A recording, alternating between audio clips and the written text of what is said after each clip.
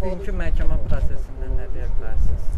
Bu gün Fikrət Fərəməzoğlunun apellyasiya şikayətini vermişdi Bakı Ağır Cinayətlər Məhkəməsinin hökmündən və Namiq Məmmədovun sədrliyi ilə bildiyimiz kimi apellyasiya şikayətimizə baxılırdı və bu gün nəhayət ki yekunlaşdı. Biz çıxış, həm şikayətimizdə, həm də çıxışlarımızda Fikrət Fərəməzoğluya bəraət verilməsini istəmişdik. Lakin məhkəmə bizim şikayətləri, vəsatətləri təmin etmədi və Bakı Ağır Cinayətlər Məhkəməsinin hökmünü qüvvədə saxladı. Burdan apellyasiyanın qərarını aldıqdan sonra kassasiya şikayət verəcəyik.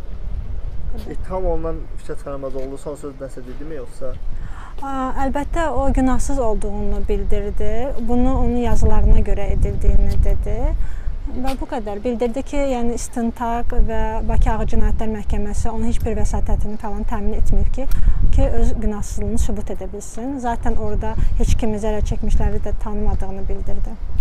Müdafiə tərəfi olaraq bundan sonra hansı addımlar? Bundan sonra kassasiya şikayəti verəcəyik qərardan.